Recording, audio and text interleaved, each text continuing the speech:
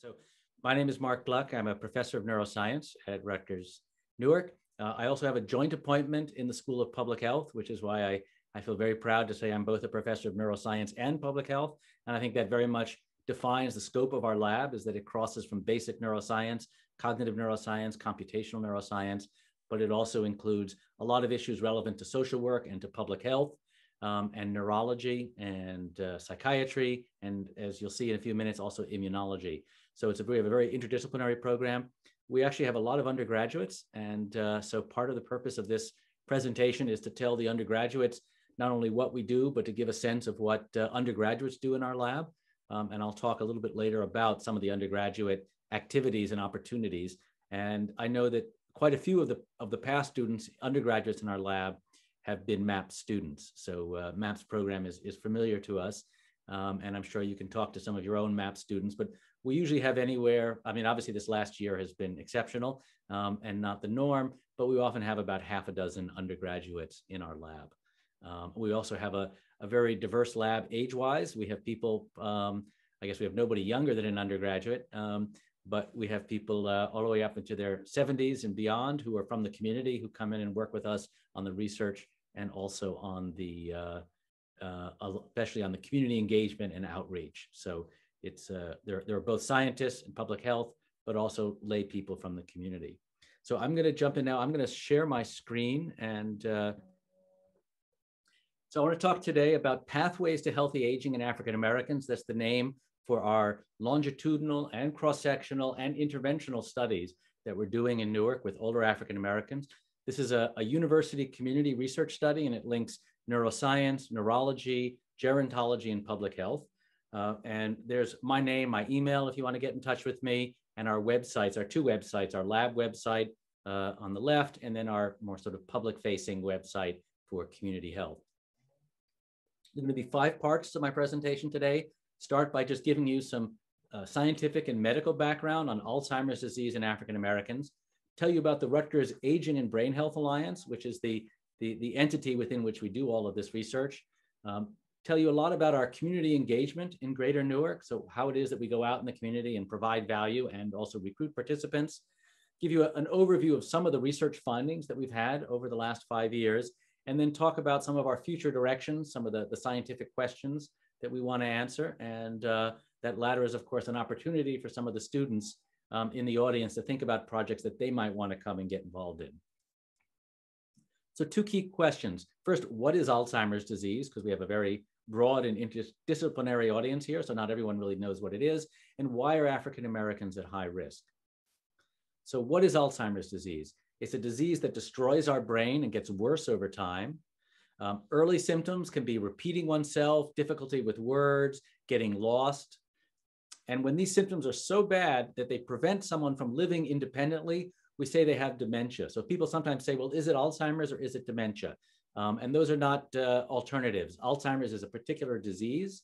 Dementia describes the symptoms of being cognitively impaired. There are many things that can cause dementia, but Alzheimer's is the most common disease that causes the symptoms of dementia. What happens in the brain during Alzheimer's? Well, brain cells, which we call neurons, they die and they lose computing power. That's the essence of our cognition is these computing neurons, these brain cells the connections between neurons break down. So the ability of one neuron to talk to another neuron begins to sort of fall apart. And as these neurons die, the brain shrinks and big gaps of space will start to appear. And the way we see these, the brain shrinking, the way we see these gaps is by using magnetic resonance imaging or MRI. So here you see on the right, there's a, a healthy brain, okay? Now, if we take someone who's got a fairly severe advanced case of Alzheimer's, what you'll see there is mm-hmm. that um, the brain has really shrunk. It's clear there's been a lot of tissue that's been lost from all of this. What happens inside the brain? Well, on the left, you'll see some of these neurons, these brain cells, um, and that's a healthy brain. And on the right, you see a brain with Alzheimer's. And there are two things in particular to note. Um, and these we've known about for 100 years since Dr. Alois Alzheimer in Munich discovered this um, from autopsy. And uh, one is what we call neurofibrillary tangles or, or tau. And this is breaking down of the structure inside the neurons. Okay, so it's inside the neurons or the tangles. and amyloid plaques, which is sort of junk that accumulates in the space between them. And those two, since the very beginning, um, are the, the signature pathology, the signature damage, the tangles and the plaques. Um, it used to be in Dr. Alois Alzheimer's time, 100 years ago or so in Germany, um, you had to wait till autopsy. Then several decades ago, uh, people developed ways of, of in live people staining the brain with uh, tracers uh, temporarily and then using PET imaging. But that PET imaging is very invasive. You have to get an injection, you need a tracer. Um, it can cost up to $10,000 you know, a person to have this done. Um, so it was a very expensive way, but it would allow you to see some of the plaques and the tangles in the brain. Um, somewhat later became the, the advanced that you could actually begin to detect tangles and plaque from cerebral spinal fluid. So the fluid that flows out of the brain and into the spine. But to do that, you have to do a lumbar puncture. You have to put a needle into the spine. Um, and that's also somewhat invasive.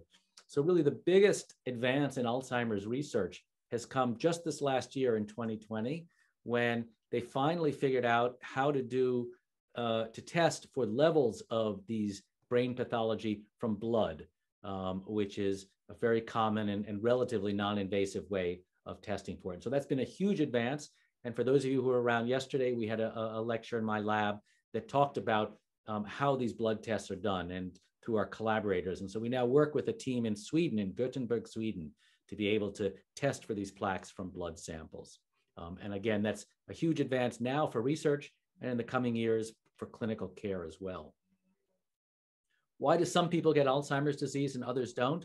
Well, partly it's genetics. Some genes that you inherit can increase or decrease your risk for Alzheimer's disease, but also lifestyle. There are risk factors such as obesity, diabetes, hypertension, which is high blood pressure, poor sleep, sedentary behaviors such as lack of physical exercise and lack of physical activity or exercise, all of these increase your risk for Alzheimer's. And just to let you be clear how much of a factor this is, people who are clinically obese um, or who have diabetes have twice the risk of Alzheimer's. So it's not like there's a small effect. These are huge effects of lifestyle. Um, so uh, the bottom line here is your by the way, somebody doesn't have their mute on. Um, if they could mute themselves, thanks. Uh, your life choices matter for brain health, and that's really the bottom line here.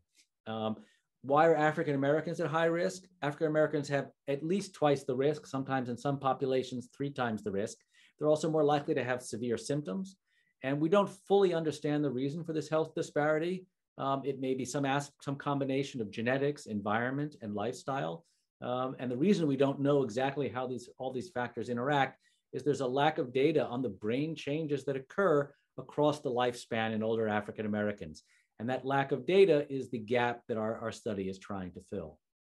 The good news is, of all these various factors, particularly in terms of the health disparity for African Americans having such high rates, it's probably mostly due to lifestyle, things we can change like fitness and sleep um, and uh, diet. And so the good news is this health disparity is not unavoidable. And so by health education, by promoting healthy lifestyles, by providing opportunities for healthy lifestyles, we have a real opportunity to reduce the health disparity, in particular to reduce the, the, the high rates of Alzheimer's in the Black community. So let me just summarize for a moment what I, have just covered in the first part of this talk. Alzheimer's disease causes dementia, which is the loss of the ability to think clearly. As the disease progresses, neurons die, the brain shrinks, and toxic junk and refuse accumulates both in and around the neurons. There are genetic, lifestyle, behavioral, and environmental contributors to risk for Alzheimer's disease, and these all interact in complex ways. And we do not yet understand fully why African Americans have a high rate of Alzheimer's disease, but certainly some of these lifestyle and behavioral factors are probably a very significant indicator, in part because we know that obesity and diabetes and hypertension um, are at very high levels in the Black community. So let me tell you a bit about the, the Rutgers Aging and Brain Health Alliance, what we have here at Rutgers in Newark. Uh, we have dual missions. We have two missions. They're both equally important. The first is community engagement. We want to promote brain health and Alzheimer's prevention for older African Americans in the greater Newark area and we engage in brain health research. In Newark, we've been building a national center of excellence for research um, and training on community engaged approaches to aging and Alzheimer's disease in African Americans. the Aging and Brain Health Alliance. We've had 15 years of university community partnerships promoting aging and brain health. So we've been doing community work for about 15 years, but only in the last five years have we begun to sort of build on the first decade of community involvement to build a research program. Our university participants include faculty and students from neuroscience, neurology, public health, immunology, kinesiology, um, and we welcome undergraduates um, as well as graduate students from all of these programs and backgrounds. Um, and we have community members, quite a few of whom are, are here at this presentation today, who come from local churches, senior center, and from federally assisted housing. And so we work with the, the, the, members and the, the management and the leadership of these various community organizations. We have a, a, a global uh, set of uh, collaborations. Uh, one of our uh, main collaborations over the last years is at UC Irvine in California, with whom we collaborate on our brain imaging research and our sleep research. Um, and we're just beginning now this month collaborations with the University of Gothenburg in Sweden, who will be analyzing all of the, uh, the blood for these biomarkers to, to pick up uh, evidence from blood that people do or don't have the, the amyloid and the tangles in their brain.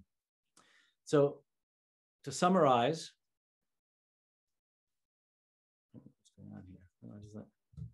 uh, uh, our program is based on linking community engagement to brain health research.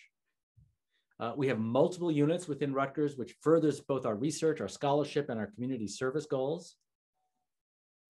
Newark is now recognized internationally as a center for research on pathways to healthy aging in African Americans. Um, and in the summer of 2022, we will be hosting a national conference on research and re um, risk and resilience to Alzheimer's disease in African Americans. And for those of you who are still around, we hope uh, that you'll come join us for this meeting. Let me turn now to talk about our community engagement in Greater Newark. What are the various ways in which we engage with the community, both to promote public health, to, to reduce the risk of Alzheimer's locally, but also then to turn and recruit people. So there are four aspects I'll tell you about. Well, our key strategies for engagement and recruitment, our community engagement team, many of whom are, are attending this presentation, an overview of some of the different kinds of programs that we run in the community, and finally, our community stakeholders board. So um, we have a number of key strategies that uh, are, are, really the fundamentals in, in, terms of how we, we operate in the community. We build trust through long-term relationships that focus on bringing value to the community. We formalize community involvement through a community stakeholders board. We disseminate health information through trusted community leaders, several of whom are here today. We recruit older men through targeted efforts because it's always been a struggle to get enough older Black men into our studies. And we cultivate research participants as ambassadors for recruitment. Um, and at this point, well, we've been doing research for about five years in the community. About a third, a quarter to a third of the people who contact us come not because of our outreach, but because a friend or a family member who had participated told them. So we think of that as sort of viral marketing. We have good customers, and the customers spread uh, the word of mouth about our programs. And, and it's also evidence to us that people are, are happy and, and, and about their involvement with the research study because they are telling their friends and encouraging their friends to participate. Um, we engage community members to communicate the importance of uh, participating, and we make a point of sharing scientific results with the community so that uh, once they're part of our study, we continue to educate them not only about brain health and Alzheimer's in general, but we want them to see exactly what their participation is leading to, the papers and the publications um, and the coverage. Uh, we have a, an extensive community engagement team. Uh, these are some of the people here. Um, some are, are in the, uh, the audience now. Um, and they range uh, from, many of them have lived in the community for years um, and are involved with our relationships with churches, doing community health education, um, and uh, uh, being out, particularly in our relationships with public housing. And so this is just some of the people who are critically involved in our outreach. Uh, they really are, are the, the key, the glue that, that connects us to the community. We've been working for 15 years um, with community partners to improve brain health and reduce Alzheimer's disease. Uh, and these are just a bit of a photo gallery that shows you sort of what some of these events are like when we go out in the community. Um, our community brain health programs, uh, pre-COVID, the main ones that we did were uh, programs that we called Aging Smart, how to keep your brain healthy, stay sharp, and avoid Alzheimer's disease. Um, and these we present as lunch and learns. Uh, our basic approach to community engagement is first we feed people a brain healthy meal. And then when they're happy and well fed, um, then we begin to present some of the educational programs. And all of our educational programs are aging smart programs that we were doing pre-COVID as sort of lunch, lunch and learns, uh, have a very simple message, actually six simple messages. We encourage people to exercise regularly, to challenge their brain, to manage stress, to get a good night's sleep, to socialize with others, and to eat a healthy diet, including the, the, the, the lunch that we always will provide. Um, that was our main sort of pre-COVID type of programming in the community, at churches, at senior centers, in public and federally subsidized housing. Um, we also have a pamphlet that takes these six steps and uh, explains them in more detail. And we distribute these widely at all of our events. It's also, um, and so it's a way that we can sort of have an even a wider impact by getting the message out in print. Um, we have a, uh, we're particularly interested in the in what we call exceptional African American superagers. The demographics with African Americans and aging and Alzheimer's is bad, as I told you. It's, it's, it's not promising. They're two to three times the rate of Alzheimer's, but demographics isn't destiny. Just because you belong to a group that has overall, on average, there are many people who are exceptions. And we're particularly interested in those people who are African Americans, but who've gotten to the, their 80s or their 90s or beyond, and they have superior cognitive ability. You know, their minds and their brains are functioning, you know, on the level of somebody 30 years younger. And we think of these people as, as long distance memory athletes. They've gone a long distance in, in, in the temporal domain, um, and their memories are fabulous. And we think these people are worth uh, honoring and recognizing to hold them up as role models. So, so that people say, hey, if they can do it in 80s and 90s, why can't I? So that people people see a model. But we're also interested in them because uh, there's a clue, we hope, by understanding them, by bringing them into our research studies. Can we learn from them? What are the what is it about them that allowed them to get through so much of their life and become exceptional? And so we have these events. Um, you'll see that was a, a that was a uh, an event we had Tuesday, February 25th, 2020. Obviously, that was one of the last events we did before COVID. Um, and you'll see some of our five superagers there with the plaques that we give them that are hanging up and their umbrellas. The umbrellas that we give them um, all say have uh, uh, neuroscience and brain health. And then it says, we've got your brain covered as our sort of umbrella motto. And uh, each of these five people gave a talk and they talked about their lives, their brain health tips, um, why they participated in research. And it was really just a very compelling uh, presentation to see these people who sort of live live a sort of a brain healthy lifestyle and, and what that's done for them. Um, men have always been a challenge. Uh, men don't tend to come as often to the churches where we do a lot of our recruitment. They they tend to be uh, resistant to health education um, and resistant to research. So uh, we've been working very hard over the last few years, uh, particularly with a, a network of uh, men's ministries with the local churches um, to do men specific programming. And uh, we have uh, one event uh, was about turbocharging your brain and building a superhero strong memory. Every man is a superhero in his own mind. Um, and we also have been running car shows for many years. I'm also a, a classic car collector. Uh, that's my car, a, a, vintage Citroën Traction Avant in the lower left corner of that flyer. So I have a lot of classic car friends around the region.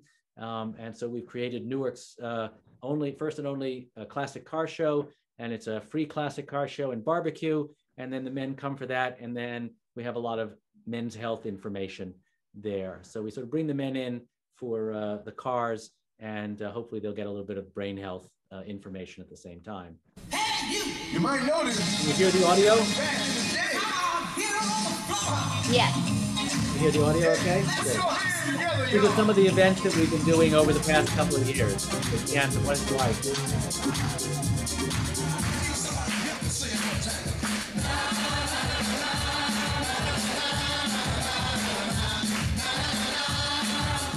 Good morning, everyone. Good morning. I was asked to take care of my grandmother. I went to take care of her, and I took care of her every day. Each time uh, the AABHI puts on an event, there's always something to learn.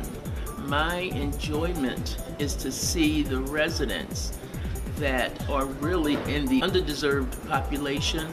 My enjoyment is to see them come and to see them learn about Alzheimer's. This type of event is so necessary for all of us because maybe one day we can put Alzheimer's behind us. So we're having uh, a classic car show and men's brain health fair combined for the first time here at Rutgers University Newark. And the purpose is to reach out to men who traditionally don't come to health education events with local churches with their men's ministry. Okay, so that gives you a sense of some of the kind of events that we've done in the community. Um, and, uh, but of course, those kinds of car shows and uh, the lunch and learns and everything haven't been possible for the last year. So what have we done over the last year of COVID? Um, a lot of people's health concerns, of course, have shifted from being worried about Alzheimer's and dementia to being worried about the more proximal risk of COVID. So we've had four COVID era virtual programs that I'll tell you about. Um, and we do these both by Zoom and by phone um, because we know a lot of our, the members of the community uh, don't have internet access. So we try to make everything that they can Zoom, if they have internet access, they can Zoom in and see the visuals, but we also make it possible that those without internet can just call in. So the first has been exercise classes uh, that we run, and we're still running them on Wednesdays and Fridays. And this is really important because exercise we know is not only important for brain health, it's important for immune health. And so there's this uh, paradox that people stay home to avoid the virus, to avoid getting COVID. But as they stay home, they become sedentary, they don't exercise, they don't walk. And in doing that, their immune system becomes weaker. So uh, we try to very much reach out to people, uh, provide them with opportunities at home by phone or Zoom to stay fit, not only for their brain health, but their immune health. A lot of questions in the community about COVID 19. We've been running a series of uh, videos and programs. Uh, these videos and programs, of course, have evolved as our knowledge has evolved. Um, and particularly more recently, as vaccines have become available, we've developed programs on vaccine education. Um, and these programs are always uh, available either on the web where they can go and see our videos, but we also do Zoom presentations, live events, particularly at churches where uh, people can come. We'll show a video and we'll have some of our community brain health educators, uh, some of the people from the the Center for Immunology at Rutgers uh, Medical School come and answer questions. So both online, but also by Zoom with sort of a mixture of video and live. Um, we have a, a new video, uh, which is just released last week um, as the vaccines have become available. A video we created where we we took uh, we interviewed eight of the local pastors and we asked them to speak to us on video about what are they telling their congregation, what are they telling their family, and what are their own plans. Um, and this video is on our website. Um, it's going to be combined with some of the science and health education. And we're going to be starting a, a series of, of Zoom and phone programming uh, with the local churches and with some of the public and subsidized housing to combine the science and health information with uh, hearing from these community faith-based leaders what they're doing and what they're telling people. And finally, Bible study in the brain um, uh, is we have a, a, a somebody somebody please mute themselves so I don't have to go find you and mute you. Thanks. Uh, so uh, this is a, a, guide that I wrote. I was actually challenged by one of the pastors, uh, the pastor of Metropolitan Baptist Church. He said to me at the end of the meeting, he says, "So I have this problem. A lot of my members are, uh, particularly our older members, they come to Bible study every Wednesday. Uh, they learn a passage, and by the next day they've forgotten it all. He says they have a real trouble sort of memorizing passage. Can you help?" Um, and although I, I, knew nothing about the Bible, um, I do know something about memory and memory tips and, and memory tricks, how to memory. And so I worked with a local pastor, our director of church relations, Reverend uh, Dr. Glenn Wilson. And together we took the science of, of, of memory and combined it with uh, uh, a knowledge of the Bible. And we created this Bible study guide, the neuroscience of Bible study, 10 practical tips from brain science for memorizing scripture. So again, it's about taking the science, taking the neuroscience, uh, the brain health, and sort of applying it to the problems and the issues of people in the community. Um, and this has been a very popular, um, both for churches use it themselves for their brain, uh, for their Wednesday Bible studies, or we send uh, two of the pastors who are part of our engagement team who do uh, sort of a guest presentation on this material at a Bible study. And lastly, Aging Smart. This is the same kind of lunch and learn programs that we did in the past, but during COVID, there's no lunch, it's just learning.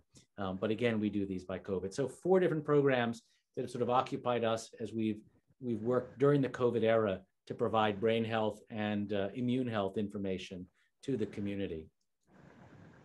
We have a community stakeholders board, uh, which we've been building out over the last year and a half. Um, we call it a community stakeholders board rather than an advisory board, which is a more common term, because we don't think of the community members as people who are advising us, but rather they're more like stockholders in a joint program.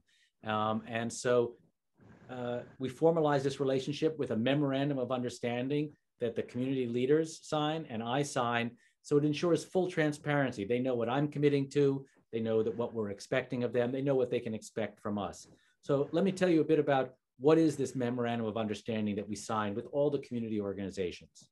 So in this jointly signed uh, MOU, we commit um, at our end to a number of things to safeguard the health and well-being of participants as our top priority, to seek and incorporate community input into our planning for research and for community programming, to offer complete transparency, including shares, sharing copies of our grant proposals, research protocols, papers, and results, whatever we have in the lab, uh, we're completely transparent and happy to share it.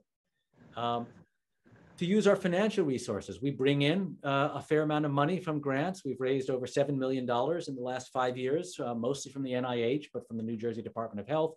Um, we use that, we commit to using that money as much as possible to support the community. We hire, we have quite a number of people in our lab from the community, particularly older residents who we hire. We purchase from local businesses. We provide support to community organizations. And we also donate to a lot of uh, community programming that is specific for older, older members of the community. So we're trying to use our resources not only to fund the research, but to sort of enhance the brain health programming and, and the well-being um, of the residents. We offer science training and career advancement to uh, our community leaders. Uh, once they're part of our stakeholders board, uh, it's essentially like going back to, to school. We're, we're inviting them to all sorts of lectures and seminars so that uh, in addition to the, the main community education programs, the leaders of these organizations, the representatives on the stakeholders board, um, are invited to a lot of the same things that our students and our graduate students come to. So this is really like a continuing education program for them um, when they're part of this uh, stakeholders board. Uh, we, we commit to compensating participants fairly and adequately. Uh, whenever we ask people to come in, uh, we pay them for their time um, so that they are are generously uh, and appropriately compensated for whatever we're asking of them. Uh, we share our fundraising experience and grantmanship skills. This wasn't something I had ex expected to do, um, uh, but it was it turned out to be something that we could offer. Um, as people saw the fundraising that we were doing, the churches or, or, or, senior centers who are also trying to raise money would come to me and ask for advice, uh, how to write this grant, you know, could I read over a proposal and so forth. And so now we've sort of broadcast, you know, to our stakeholders that as they seek to sort of raise funding for their own programs at the church or the senior center, you know, we have a lot of experience in fundraising and we try to sort of share that with them so they can build up their own organizations. Um, of our community partners, we're very explicit about what we ask. We ask them to participate in board meetings um, and post-COVID, we promise there'll be a lot of good brain healthy food. To host brain health education programs at their site. Uh, at the moment, we're doing it with Zoom uh, through their programs, but soon we hope to go back and do Insight, Lunch and Learns, and other programming. To communicate research opportunities to the members, uh, we ask the stakeholders to sort of use this infrastructure that we're building and, and use the programming as a way to let people know about the research and to provide us with feedback and guidance. We want to hear from them candidly and completely and quickly. You know, are there things that they like? Are there things there are problems with? Are there issues? You know, we want their input on how to guide both the programming and the research to best serve the community. And we ask them to stay informed about brain health and aging. I mentioned that you know when people join the community stakeholders board, we sort of give them access to sort of a continuing education program on brain health and education, both for their own edification, but also that makes them more able to be a partner with us in, in determining what we do and where things go. And last, for those who are particularly interested, we, we, encourage people to get involved in planning community events. So some of the various people in the community have gotten involved in the classic car show, for example, in our Super Ager program. So for those members of the community board, community stakeholders board, who are, are particularly interested in having a, an even larger role, uh, there are a number of opportunities. So that's what we commit to from uh, on Rutgers' behalf and what we ask of our community partners. So let me summarize part three. Uh, with appropriate community engagement, older African Americans will enroll in research on aging and brain health. And a lot of people will say, and you see written that African, older African Americans, African Americans in general, uh, older African Americans won't participate in research. Uh, we think our programs in Newark uh, show that that's not the case, that in fact we can enroll large numbers. We've had over 400 people from the community uh, who have enrolled in our studies. We have over 300 in our, our longitudinal cohort. So uh, uh, our efforts show that with appropriate community engagement, older African Americans will enroll in research on aging and brain health. And we invite many of our colleagues in so sociology, social work, and public health to work with us to help understand what does and doesn't work to promote uh, research involvement in the community. Uh, a community engagement team with deep understanding of the community is essential. You saw a list of, I think, whether it was eight or 10 people uh, that I showed before. You heard Glenda Wright speaking in that video earlier, telling you about uh, some of why she's involved in the program. You know, these community engagement teams are really, you know, the essence that, that bridges from our lab to the community. Uh, regular Absolutely that brings absolutely very that, important. That that was Glenda. Thank you, Glenda. you that was, that was Glenda piping in. I uh, I can't see her, but I know her voice. You recognize yes. it as well from the video. Thank you. Uh, You're welcome. Uh, our regular programming, our, our, our goal is to bring value to the community. You know, I think, you know, people trust you when they not only see you around for 15 years, but when there's a long history of leaving behind a trail of positive impact on the community. So uh, that's one of the things we're sort of always looking at, whether it's helping our community partners write grants for their own programs, um, or whether it's improving brain health, uh, or helping support some of the various other programming that they're doing. Uh, we look for uh, a long history of regular programming that brings value. The Community Stakeholders Board that I described and the written MOU gives partners a voice um, and establishes a commitment to transparency. So those are key. Let me tell you a bit now about some of the research that we've done, you know, this aging and brain health research. So you have a sense about the, where does all this now fit into the, the story of the, the neuroscience of aging? Uh, we call the program the Pathways to Healthy Aging in African Americans.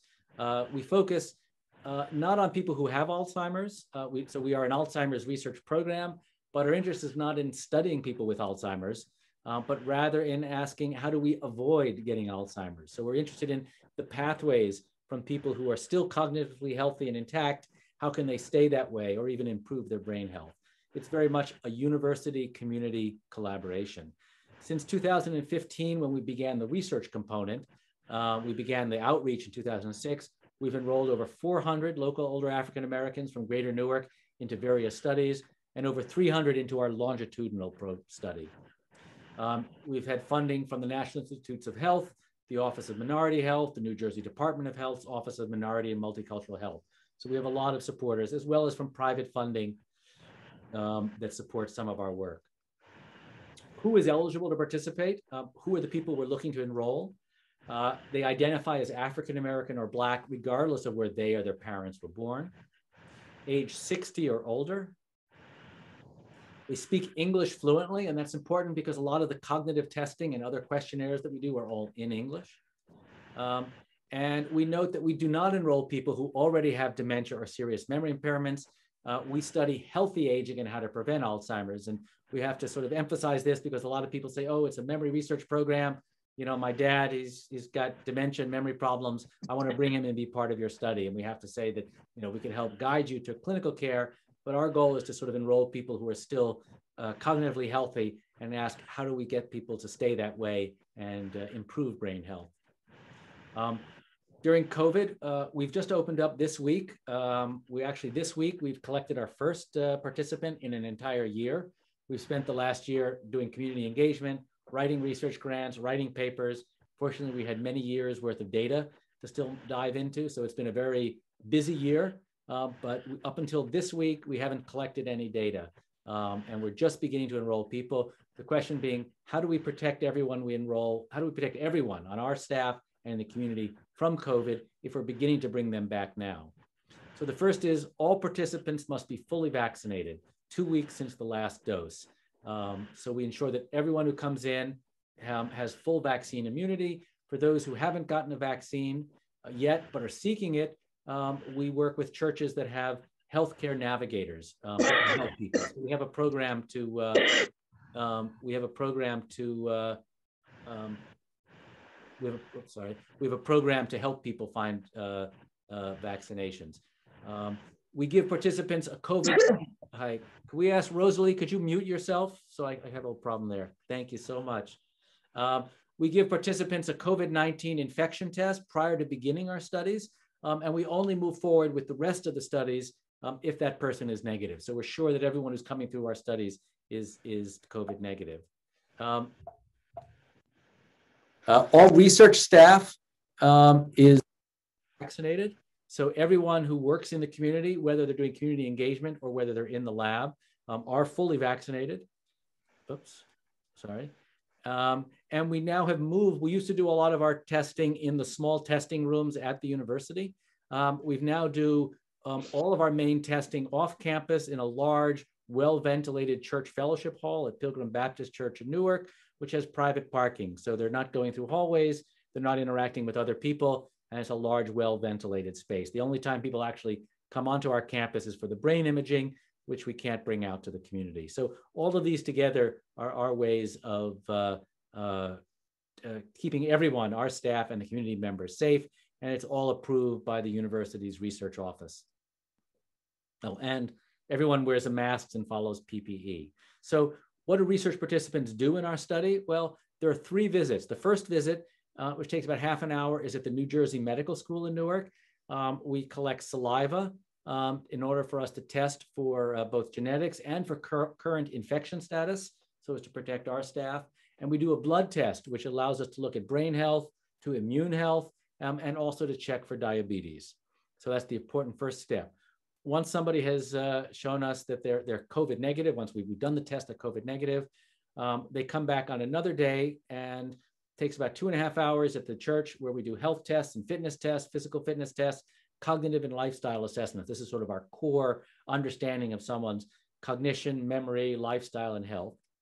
And then they come back on the third day to the Rutgers Newark where we do brain imaging, which is critical to actually see their brain, see what's connected, um, and, and, and, actually directly measure their brain health. Um, and then if for those who are interested, we're also very much involved, interested in understanding how sleep affects memory. Um, and there's an optional week of home sleep monitoring using digital sleep monitors.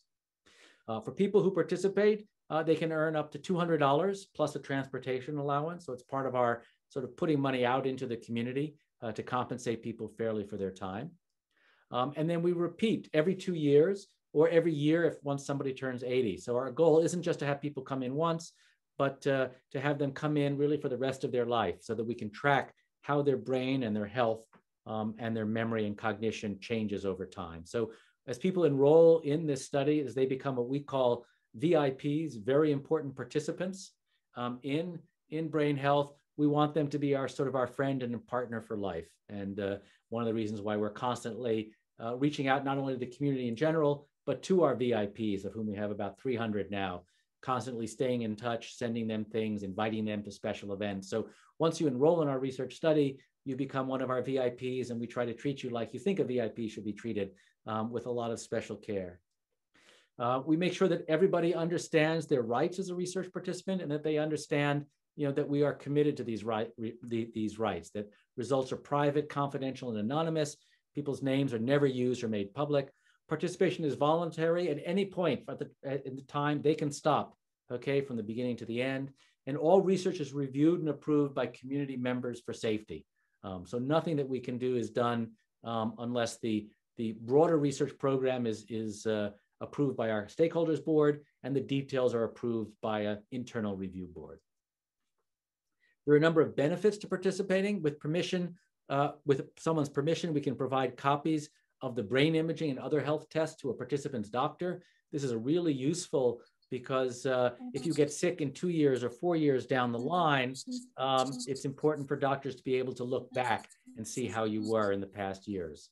Um, if on future visits, two, four, six years from now, someone shows sign of dementia, um, we will pay for someone to get a full clinical dementia assessment. So I said we don't enroll people who have dementia, um, but we know that, uh, you know, of these very people, a certain fraction will develop dementia in the coming years.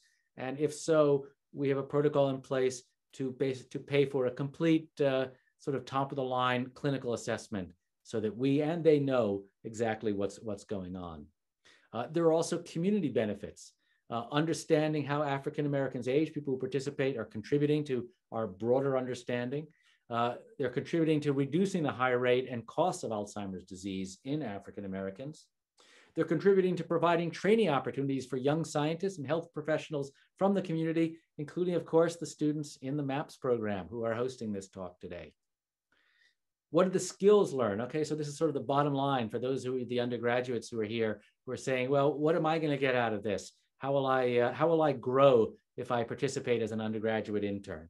So here are some of the skills which uh, which uh, our interns come away with. Uh, they learn to administer cognitive health and fitness assessments, to run functional MRI brain imaging scans. We have undergraduates who get trained to go into the imaging center, learn how to uh, uh, bring someone in and, and do the imaging. To summarize and present research papers at lab meetings, our undergraduates are regularly giving presentations both in the lab and outside, learning to communicate science, which is an essential part um, of any health career, whether it's research or clinical. To present posters at scientific and academic conferences, uh, we encourage and we support financially our undergraduates to go to uh, local and sometimes even uh, you know, national conferences to present their research.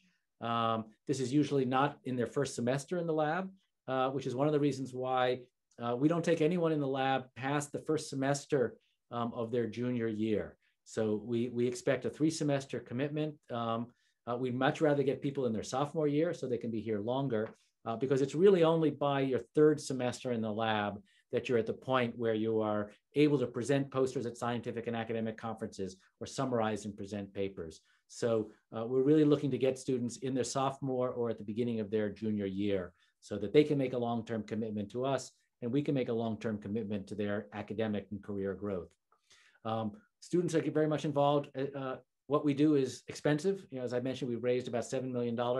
Um, we're constantly putting out research grants um, and uh, the students get involved. You learn about fundraising. You learn about how do you explain your work? How do you pitch your work? How do you understand what a different agency or, or funder is interested in and how to tailor your presentation to that? So applying for research grants or any kind of grant is a really important skill. Managing relationships with community leaders. Uh, uh, many of our uh, interns, particularly those who come from, uh, who have an interest in minority health, work with Glenda, who you saw and who you heard from, uh, and Dolores and uh, Reverend Wilson, work with them in their outreach, in their programming in the community. So one of the things that our students learn by being part of this outreach is they learn from not just from me, but from Glenda and Reverend Wilson and Dolores, learn how to deal with these community leaders and community organizations. And last, to teach community health education programs where whether it's uh, COVID and immune health these days or, or, or brain health or cognitive health, um, we want our undergraduates to get involved and through that learn how to do health education uh, not to scientists and not to uh, uh, uh, medical staff, but rather into the general community. So I think that's all seven. So uh, those are some of the skills which our undergraduates, you know, who stick with us through the three semesters can come away with. Oh, and finally, to participate in interdisciplinary collaboration. So as you've seen, our lab has people from public health, sociology, immunology, neurology, psychiatry, neuroscience. So uh, all these people are involved in our lab. Um, and so you begin to see uh, the students begin to see how how science and medicine and health research doesn't just depend on, on, on one degree and one specialty, but by being able to draw in from many of these different areas. And I think that's a, a really important lesson because it encourages uh, the undergraduates to think about not just learning one thing, but to learn uh, many different areas that they can bring together in unique ways. Um, one of the things that we're doing is, is creating a really important database on the brain changes in older African Americans as they age. Uh, there's a real lack of data because there's been a lack of participation. Uh, one of our contributions to the field uh, and, and to health is building up this, this brain imaging database across the lifespan in older African Americans. Uh, we do, we were doing before COVID and we will afterwards. We're very interested in interventions, non-pharmaceutical interventions. So the question is, what can you do that will improve your brain health and reduce your risk of Alzheimer's disease? Um, once, uh, probably in the fall or perhaps in January, we'll begin again to do some of these exercise research studies. Uh, they'll involve uh, community members in our study who uh, agree to be part of exercise programs three times a week in the community, led by certified instructors. That's Lisa Charles there, who uh, is leading both our, our COVID era remote exercise classes and was involved in a lot of our exercise classes uh, beforehand, uh, we look at people before and after six months. We say if, if we take someone who's otherwise sedentary, often obese, they have other co comorbidities, um, if they can commit to three months, six months of three times a week exercise uh, for about an hour each, how is that going to change their brain? And so we look at them, their cognitive and brain health before exercise, we look at it after.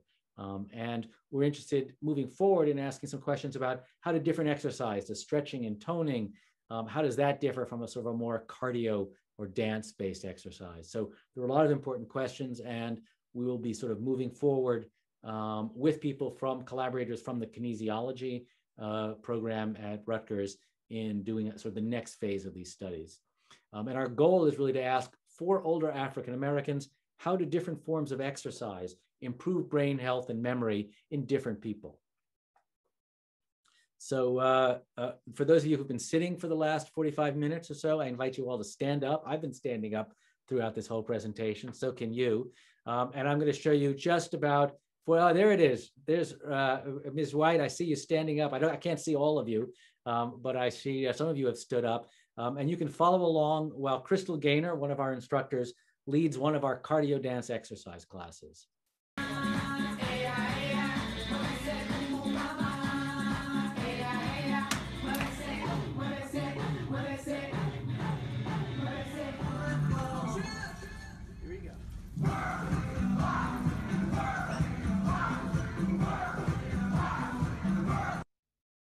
Okay, so that's a, a brief uh, sample um, of what some of these exercise, these cardio dance fitness exercise classes have been like um, over the last year. And just think about doing that three times a week uh, for at least six months, although many people who joined us for the six month study stayed on even longer.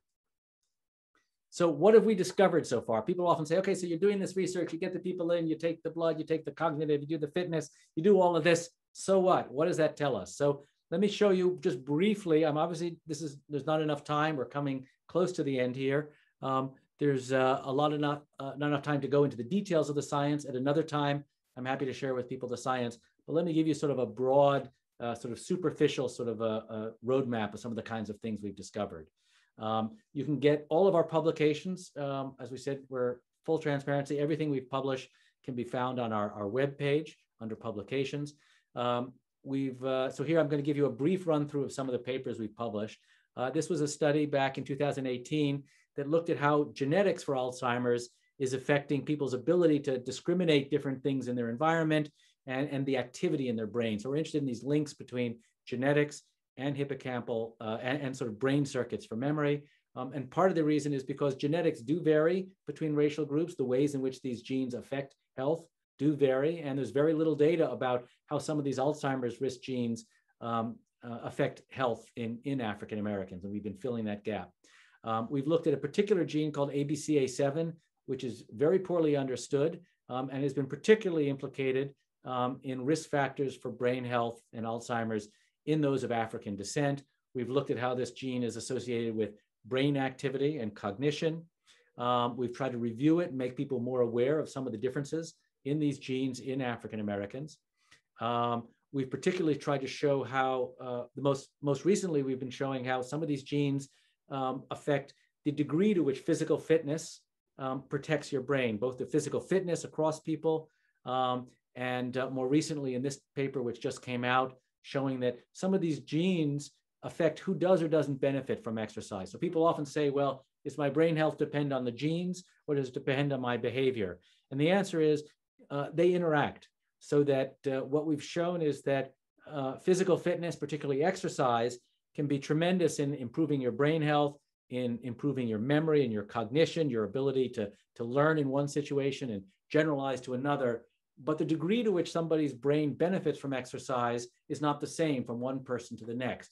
Um, and what we've shown is that uh, there are certain genes which modulate the degree to which exercise protects the brain. And that's important because this may lead in the future to getting an exercise prescription based on your genetics. So the idea is that uh, rather than saying one type of exercise, one amount of exercise is what you need to protect the brain, perhaps if we know someone's individual genetics, we may be able to fine tune that to make an individualized exercise prescription.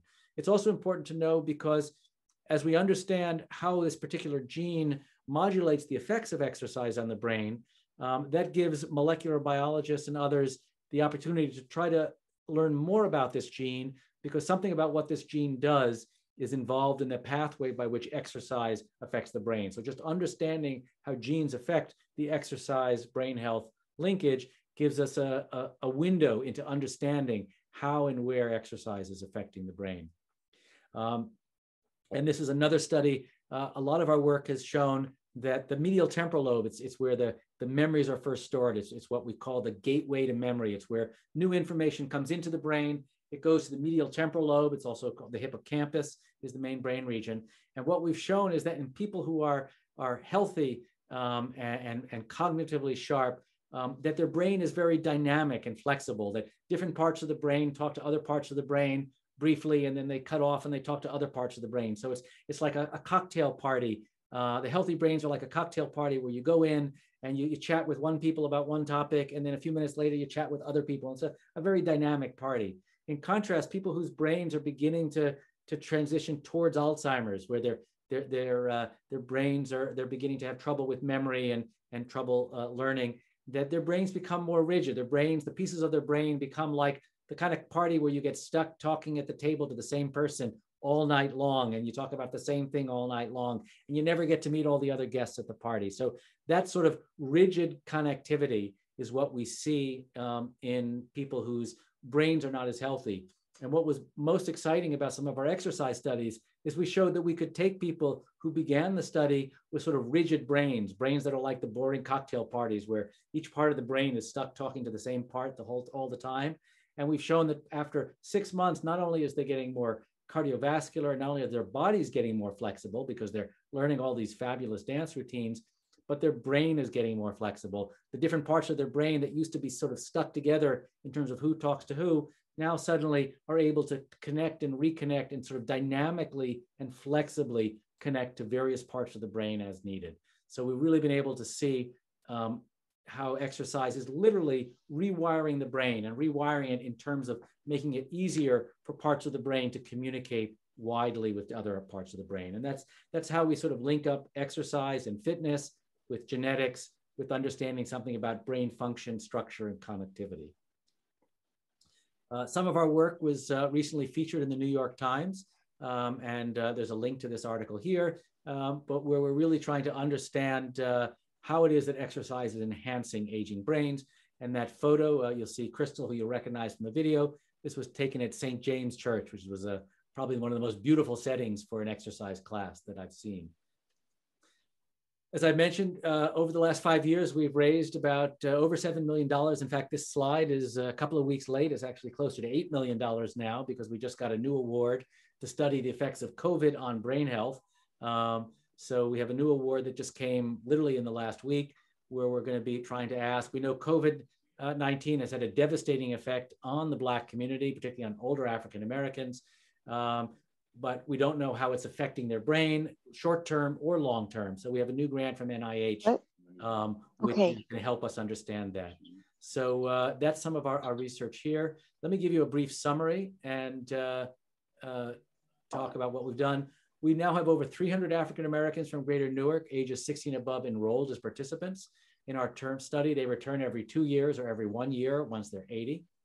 The current testing protocol includes multiple layers of protection from COVID 19 infection for both our staff and participants. Everyone has to be vaccinated before they can be part. Uh, participation results in both individual health benefits and benefits to the community. And uh, I've briefly given you a tour of six of our recent publications, and you can read more about it in the New York Times uh, article, which is on our webpage. Um, and we've raised now close to $8 million, which is both funding this research, funding our community engagement, um, and allowing us to put not only uh, community value in, but also try to sort of put as much of that money as possible into the community. Um, let me sort of wind up here, just briefly tell you some of the future directions. Um, if you're a, a, sophomore or a freshman um, and you're thinking about getting involved in the lab, um, then uh, these are some of the projects that you might be working on over the next couple of years. Um, our goal is to enroll 120 new participants a year, uh, um, as well as bringing back all the other people every two years. And our goal um, over the next uh, five years, uh, five, seven years, is to get up to a cohort of a thousand. We already have in Newark one of the largest studies of aging in African Americans in the country. Um, we hope in the next five years, if we can get our cohort to a thousand people, um, it will overwhelmingly be the most important sort of aging study in African Americans. So here are nine key questions. So we have a, a five-year plan um, as we get up to this sort of enrolling a thousand people. Here are nine key questions that we would like to try to uh, find the answers to with participation from students and participation from community members who enroll in the study. The first is how do individual differences in health and lifestyle affect cognitive decline and Alzheimer's disease in older African Americans? That's really the fundamental question behind much of what we do. Which aspects of cognition and brain function can be improved through regular exercise? And what kind of exercise is best? How does sleep affect risk for Alzheimer's disease? And how does early Alzheimer's disease affect sleep? That's why we ask people at the end of the, the main part of the study to do a week of home sleep monitoring so we can relate everything else that we're studying, uh, brain health and cognition and fitness um, uh, to uh, sleep. What can we learn about successful aging from exceptional African American superagers who have superior cognitive abilities on par with somebody 30 years younger? So we're always looking for the best and the brightest of those who are 80 and 90 to be part of our study um, and let us both honor them and recognize them, but also learn from them. Five, which I just mentioned, we have this, this new grant from NIH, which we got last week. For those who are infected during COVID-19 pandemic, what are the long-term consequences for their brain health um, and for their risk for Alzheimer's disease? We know that COVID-19 has a lot of neurological consequences, um, uh, but we don't really know what they are um, or how they relate to the changes that one might see in Alzheimer's disease. The only way we can do that is to enroll people who've had COVID 19, ranging from asymptomatic to mild to moderate to severe and hospitalized, and following them in the long term. And a related question is how do changes in immunological health across the lifespan, especially the decline of immune cell function, relate to the uh, progression of Alzheimer's disease? There's a, a growing understanding that uh, Alzheimer's disease to some degree may be thought of as an autoimmune disorder, where the brain's immune system is either attacking parts of the brain or failing to clear out um, some of the toxic waste in the brain. Um, and that's intimately involved with the functions of the immune health. And that's one of the reasons why we talked, I talked before about how exercise is good for brain health, and it's also good for uh, uh, uh, immune health. And that's probably because immune health and brain health are intimately linked. Obviously, this is very much part of the questions about how is COVID-19 and people's response to COVID-19 affecting their brain health? How does a history of long-term alcohol abuse affect risk for cognitive decline and Alzheimer's disease? Uh, Rutgers is a, has a major leading center for alcohol abuse, um, and we work with them um, to try to study in those people who have a long-term history of alcohol abuse, how is that affecting their brain health? Um, and that's an important not only for, for treating, um, but also uh, sort of understanding what are some of the consequences of, of excess alcohol. So that gives you sort of an overview of some of what we're planning. Oh, I'm sorry, one last thing. Uh, uh, sorry, two last things to get to nine. So we're interested in, in interventions, not just in studying people, but improving them. Uh, but we don't do drug trials. We look at non-pharmaceutical interventions, most of which have been uh, exercise in the past. We're also going to begin doing some eventually some sleep intervention studies, but there's some very exciting new directions in brain stimulation. So, so non-invasive, not sticking electrodes in the brain, but, but rather just sort of little bits of, of current um, or just sensory stimulation um, that can change your brain waves. So if you have a little electrical current that's sort of alternating on, on, on the scalp, or you have lights that are flickering, your brain that actually will change the, the frequency at which your brain is oscillating. And there's a particular frequency called gamma waves, or 40 times a second, um, which has been associated with improved cognition and reduced risk or progression of Alzheimer's disease. So this is a study that we're just beginning. It's in collaboration with Harvard Medical School. And uh, uh, we hope sometime over the next year, obviously it's been delayed by COVID, but to begin to ask, can we begin to improve people's cognition, not just by exercise or by sleep, but by sort of stimulating their brain from the outside with sensory stimulation. Um, and lastly, and I mentioned before, we're interested in working with people in public health and sociology and social psychology. Uh, what are the facilitators and barriers to older African Americans participating in aging and brain health research? can we look at what we're doing? Can we look at what's been successful? Can we look at places where we haven't been as successful, for example, in recruiting men, and, and learn to sort of not only improve our own ability to, to recruit older African Americans into our study, but to, but to communicate through publications and other presentations to other sites for aging research around the country so that they can improve their recruitment of African Americans. So those are nine of the key questions that will uh, identify what we're going to be doing in the coming year. And uh, I hope that some of the, uh, the students and others will uh, decide some or all of this is exciting and want to join the lab. So that brings me to the end. Uh, it's a little after 1207, so it was exactly one hour. Uh, my website, my email Uh, is all there.